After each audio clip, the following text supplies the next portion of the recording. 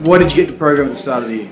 We sincerely wanted to see a situation where 10 years from now our players have grown as individuals, not just on the footy field, but in their working life and their uh, family life. What impact has it had on the club, and what's what's come of it for you? Well, let's go back a step. Uh, I fully endorse the program, but then stepped right out of it and said that they would run it, they would come up with the ideas, and they would execute the ideas.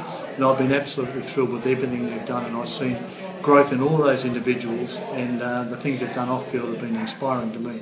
Yep. Well, what stood out for me was that uh, they went about it without any fuss, and uh, then came back and benchmarked what they've been doing, let us know at regular basis every four weeks or so.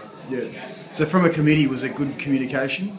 Absolutely perfect and uh, took a lot of uh, pressure off us because they were doing other things behind the scenes that the committee's normally scrambling to do. Yeah.